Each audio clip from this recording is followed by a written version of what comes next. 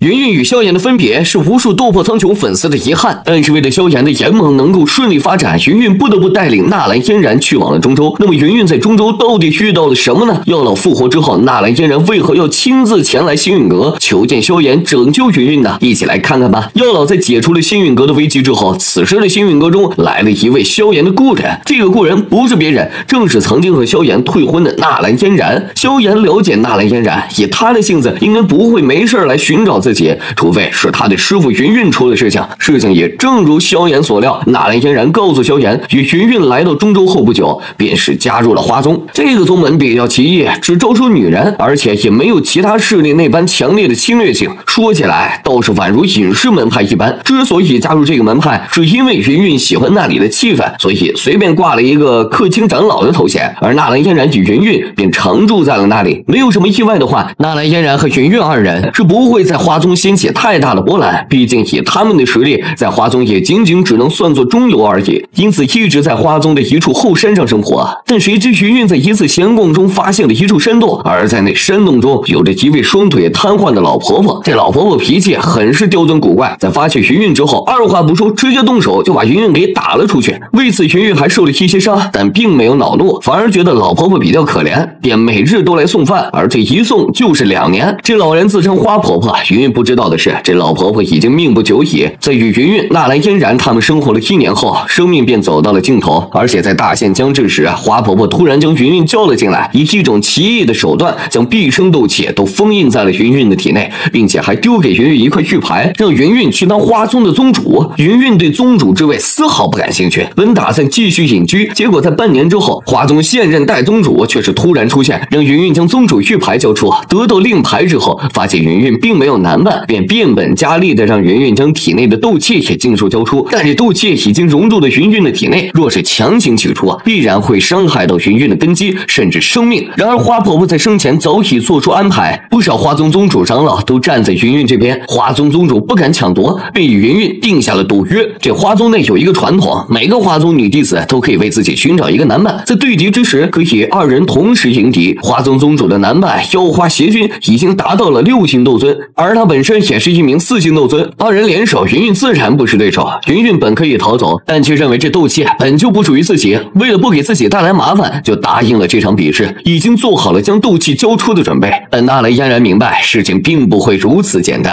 为了老师的安危，便来到星陨阁寻找萧炎。得知这些情况后，萧炎一刻也不敢怠慢，带着亲民立刻朝花宗赶去。等萧炎三人赶到的时候，花宗宗主已经对云云步步逼近。就在这关键时刻，萧炎出现在云云身前。看着眼前的背影，云云有些恍惚。几年时间不见，如今的萧炎已经不再是当年稚嫩的少年。现在的后者，即便是在这强者如云的中州，都是拥有了不弱的名声。现在的萧炎已经真正具备了站在他身前遮挡一切风雨的资格与实力。时隔多年再见云云，萧炎大笑一声，温柔的让云云退下。他要一人迎战花宗宗主和妖花邪君。星陨阁刚和魂殿大战一场，魂殿定然也不会善罢甘休。如果云云真的当上花宗宗主，未来对萧炎也是一个不小的助力，因此萧炎对着花宗宗主之位势在必得。妖花邪君对萧炎很不屑，自己六星斗尊的实力，而萧炎才二星斗尊的实力，萧炎凭什么与自己斗？大战一开始，妖花邪君脸庞上划起一抹冰冷笑容，脚尖一点地面，身形宛如鬼魅般的对着萧炎暴掠而去，浩瀚的斗气铺天盖地的弥漫而出。萧炎则不慌不忙，先用十一具傀儡对付正准备对云韵出手的花锦。妖花邪君的攻击很猛烈，但萧炎将。三星雷斗发挥到了极致，配合着天妖皇翼的加持，速度已经达到了相当恐怖的层次。妖花邪君因为追不上萧炎，便嘲讽萧炎只会躲避，却不敢和他动手。萧炎根本懒得理会，他的实力比起妖花邪君本身就有所不如。使用天火三玄变之后，二人才打得旗鼓相当。妖花邪君越打越心凉，决定使用天明宗绝学速战速决。萧炎也正有此意，四种异火同时出现在天空之上，火团在萧炎掌心中不断的膨胀收缩，一股。股异常狂暴的炽热能量也是徐徐的弥漫而出，这是萧炎的毁灭火莲。这种大杀器蕴含的能量恐怖到了极致，与妖花邪君的地阶高级斗气相撞。狂暴的能量过后，妖花邪君全身狼狈不已，嘴角的鲜血也清晰可见。更令人惊骇的是，萧炎这一招所产生的火浪，连旁边的斗气防御罩都抵挡 不住，直接炸裂开来。若不是有花宗长老出手，这大殿将毁于一旦。在一场大战之后，花锦和妖花。邪君败在了萧炎的手中。萧炎将花宗的宗主令牌从花锦的手中夺过，将他轻轻的放在了云韵的手中。萧炎告诉云韵，自己与魂殿结仇，身边多个帮手多条路。如果云韵成为花宗之主，未来可以帮助自己共同对抗魂殿。云韵看着萧炎认真的脸颊，心中忍不住的心疼起来。魂殿这种势力，他来到中州之后自然有所了解。就算是花宗的太上长老，也无法与魂殿对抗。萧炎却独自一人承受了这么久。想到此处，云韵答应下来，同时也算是没有辜负花婆婆的一一片好意。原本妖花邪君与花锦在一起，目的就是为了控制花宗。如今被萧炎破坏了好事，二人自然不会善罢甘休，打算在花宗之外设下埋伏。而萧炎却并没有第一时间离开花宗的想法。在来花宗之前，药老就将古灵冷火送给了萧炎。这一火虽说属于药老，但是自从认识萧炎之后，古灵冷火就一直被萧炎掌握并使用，因此很快就被炼化。焚诀吸收三千焰炎火之时，已经达到了地阶高级功法的层次。现在吞噬古灵冷火，等级再次提升。花宗之外的天空在此刻突然阴云密布，无数雷霆从天空中炸下，就连山川都在此刻地动山摇。花宗有见识的长老看了出来，这是天阶功法或者天阶斗技出世时候的天地异象。众人皆将目光放在了云韵的闺房之内。萧炎的地位在他们心中直线飙升，拥有天阶功法就预示着未来注定能够突破到斗圣级别。到时候，因为云韵与萧炎的关系，花宗的地位定然会提升一大截，凌驾于天明宗之上。